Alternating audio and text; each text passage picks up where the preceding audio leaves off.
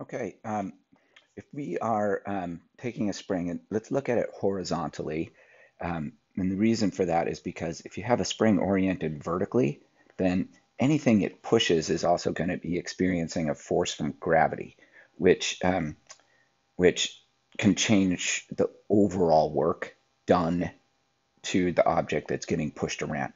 If we put our spring horizontally and imagine that we're on a relatively frictionless surface, then the only force that's going to be acting on something that the spring pushes on is going to be the spring itself.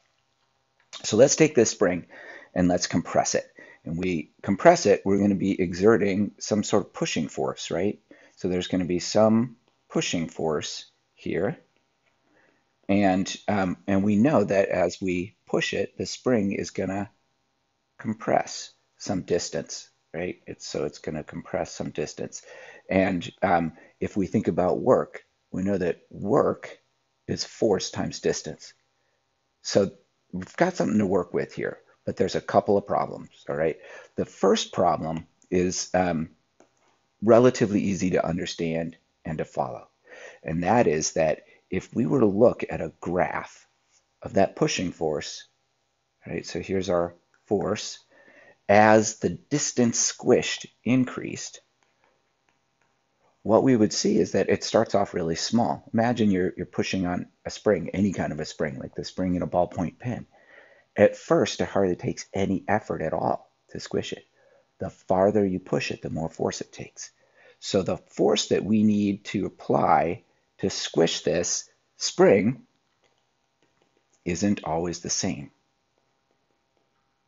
There's some maximum force once we've squished it all the way, and the minimum force is going to be zero or, you know, very close to zero, right?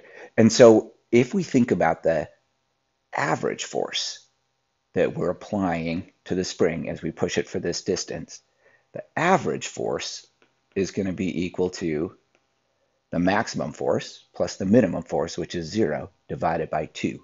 And that's going to be one half times this maximum force.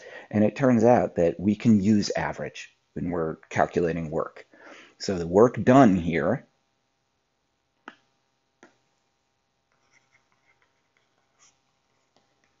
to the spring is going to be equal to 1 half times whatever that maximum force is, which we could measure with a, with a spring scale or a force sensor, times the distance that it's compressed. And so let's call that let's call that x, which is usually what the variable that we use when we're talking about springs. Okay, and um, so so that's one issue that we need to deal with: the fact that the force is changing, and this this allows us to um, to correct for that. But now we have another issue, which is a, little bit more subtle. Um, it's easier to deal with, but it's harder to understand. And that is that we just calculated the work done to the spring, right? If I compress a spring, I'm pushing on it and I push over some distance. That's work that I'm doing. But usually when we're dealing with a spring, what we want to know is something about the amount of work that the spring can do. So how do we find that? The work a spring can do and the answer is if we think about what's happening when we compress the spring in terms of Newton's third law, realize it's going to be the exact same number. If we compress a spring, we're pushing on the spring with a certain force. It's got to be pushing back on us with the exact same force. That's what Newton's law says. So when a spring is pushing, the spring pushing force is equal to whatever the compression force is at any time. So at the very start of the spring's compression, it's pushing with very little force as you push with very little force.